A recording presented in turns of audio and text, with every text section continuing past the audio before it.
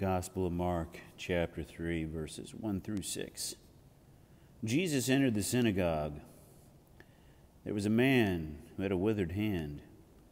They watched Jesus closely to see if he would cure him on the Sabbath so that they might accuse him. He said to the man with the withered hand, Come up here before us. Then he said to the Pharisees, Is it lawful to do good on the Sabbath rather than to do evil? To save life rather than to destroy it? But they remained silent, looking around at them with anger and grieved at the hardness of their heart. Jesus said to the man, Stretch out your hand. He stretched it out, and his hand was restored. The Pharisees went out and immediately took counsel with the Herodians against him to put him to death. You know, this is uh, this is just messed up. I mean, you have Jesus who's healing and curing people and casting out demons and because he's doing so on the Sabbath, the people of the time decided that they were going to conspire to kill him. I can only imagine the amount of fear and anger they must have felt. And honestly, it's not that much different than today. I, I can recall stories where I've heard fellow Christians even myself on occasion, who we've looked at someone speaking the word and sharing it, and because they looked different or were saying it in a different way or had a different perspective, even though they were still proclaiming the gospel, proclaiming that Jesus Christ is Lord and Savior, they were met with anger and fear. Fear that it would lead people astray, anger that they would become the centerpiece of a voice to listen to rather than someone else. The other thing that strikes me here is how God gives. God gives completely. Not only did He give to the man with the withered hand and He cured him, but He also had love. He gave love to the Pharisees. Because it said there, Jesus watched closely to see, they watched Jesus closely to see if they would cure on, if he would cure on the Sabbath. And Jesus, you know, he, he, he, he, he had compassion for those, the Pharisees who were going to turn around and, and, and conspire to kill him.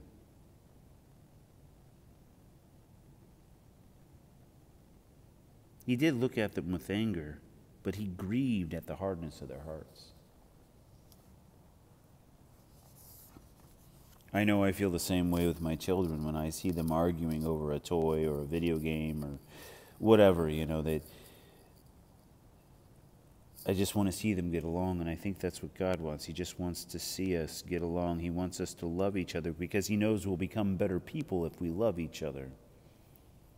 And God is love. You know, I, I read yesterday about how God is love. And so if we love one another, not only are we taking care of each other, but we are also taking care of each other in God because God is in, is love. And so when we are in love with each other and acting in love with each other, we are in essence kind of in God with each other. God gives so much. God gives all. I, I read also yesterday about how uh, you know, God gave himself completely. God became man. And he went through so much.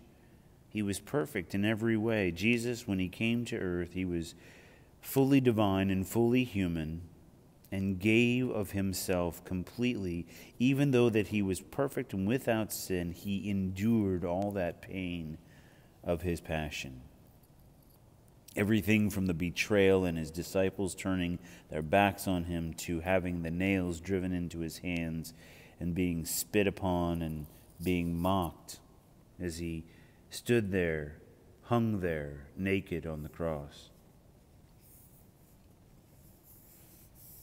So, what am I to do? What would Jesus do? Well, I'm not a perfect man by any means, but I know what maybe I should strive for today and going forward until till I know better if I'm wrong.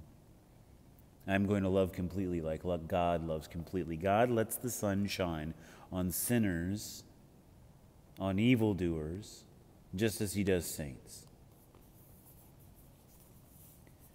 So when I meet those who do not approve of me, I shall still not love them nonetheless. When I meet people I don't approve of, because I am concerned and worried, I need to make sure that I'm not judging, because it's not my job to judge.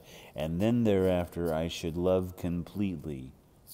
And sometimes maybe that'll mean saying something or doing something, but more often than not, it will probably mean just doing loving things in small ways.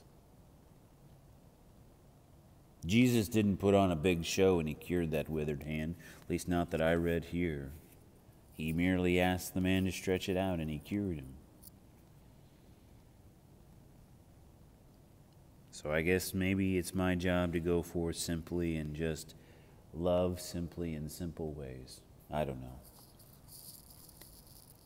That's all I got to say about that.